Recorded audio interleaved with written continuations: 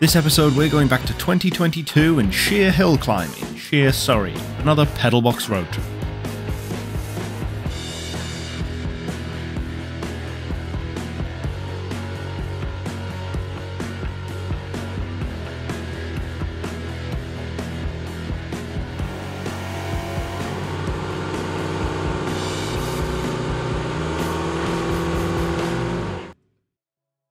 Shere Hill Climb is held on Staple Lane just off the A246 in Surrey, a public road which is closed for the days running, with the adjacent fields in the farms used for both the show and the car park.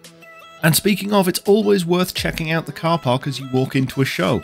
This 3.5 litre Rover Coupe was just next to us as we parked, and I'd never seen the coupe version before. Fairly tastefully modified outside on bag suspension with some oversized steelies, it looked superb with the aircraft inspired bucket seats front and back inside. A few cars further down from the Rover, there's a Ford Galaxy 500, a BMW 850 Ci next to a classic Merc 280 CE, an early Series 1 Lotus Elise 111S, and finally a TVR Chimera parked next to a very early Lotus Esprit. That's only one row of the car park.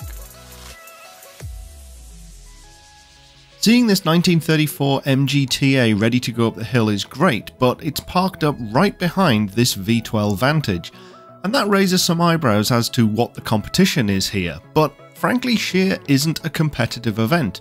It's a fun day out where you happen to blast what you've brought up the hill through the hedgerows on what was yesterday a public road and will be again tomorrow. The fields are full of a wide variety of entrants, as is the line up to the start of the course.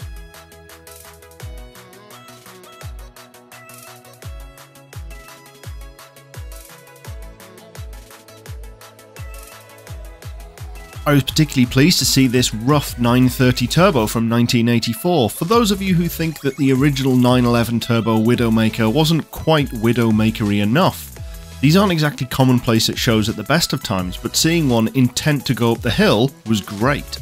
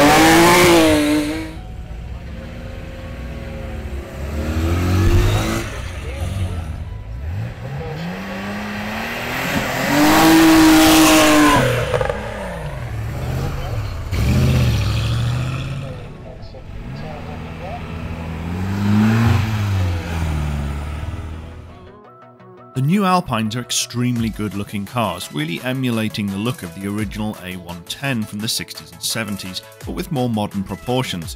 I think it's been done very, very well, and it's one of the better retro inspired visions that's made it onto the road, but you don't see many. In fact, I hadn't seen any of them until I saw these two finished in slightly different blues at Shere. Few people seem to remember when Saab made a two seat sports coupe, the Sonett, Unsurprising as it wasn't that popular. This version, starting in 1970, sold just over 8,000 units. This Chrysler Valiant was never available in the US, instead they seem to just get the Duster and the Dart as two-door options in this size. This one's unusual as it has the Thermoquad 4-barrel instead of the 2-barrel from the factory. Felice Nazzaro built cars for what would become Fiat before founding his own company in 1911. The Tipo 2 topped out at 100 km an hour, and Nazzaro himself won the 1913 Targa Florio in just over 19 hours, driving 979 km in this. You can go years without seeing a Bentley 4.5 litre, they're not that common, and then suddenly there's two sat next to each other. 4.5 is one of the first cars to use an overhead cam with a pair of SU carbs. And as if this weren't enough, its successor, the 6.5, is parked just a couple of cars down. They all have similar Weymann type canvas bodies, but they're quite heavy cars weighing well over 1.5 tons. But with plenty of power for the time, and the racing versions had even more, they were still extremely fast for their day. This KRIT Speedster is no one off, but it's also not exactly factory. Originally, these were fitted with a four cylinder engine, and at some point, somebody decided to start swapping in Curtiss Aero engine. I found more than one example of this exact combination with the OX5 V8 shoehorned in where that four cylinder used to be. It's got a beefy chain drive, and I can't imagine anyone has ever been brave enough to see what the full performance this is and remember to document it afterwards. And not far away from the KRIT is The Car from the film of the same name.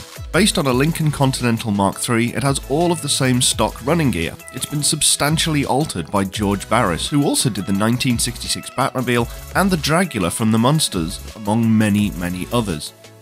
They made three stunt cars, all of which were destroyed making the film, and the one hero car survives, although there are many replicas. It's difficult to prove the provenance, but this one had a lot of things backing it up, but short of checking the VINs, which I didn't do, it's probably hard to be completely sure. Around the corner are a pair of gems from 1960, a Triumph Italia and this Turner Sports Mark I, fitted with the higher performing Coventry Climax FWE instead of the 948cc Austin engine, upping the power from 45 to 71 horsepower.